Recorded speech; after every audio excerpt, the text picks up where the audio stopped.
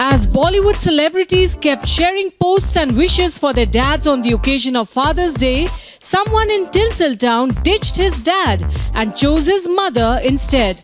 Shah Rukh Khan's usually shy, aloof son Aryan Khan was captured with his mom Gauri Khan in a lovely photograph.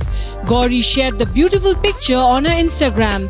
The picture reminds us why mothers will always be an important part of our lives and one shouldn't forget them even on Father's Day. Gauri wrote along with the picture, Love the tagline, The Birth Giver.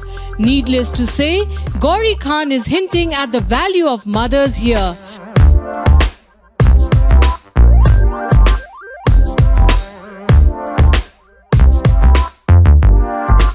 We have to say Aryan has grown into a young, handsome man. Dressed in a cool white tee, Aryan is exuding a ton of charm in this picture, just like his dad.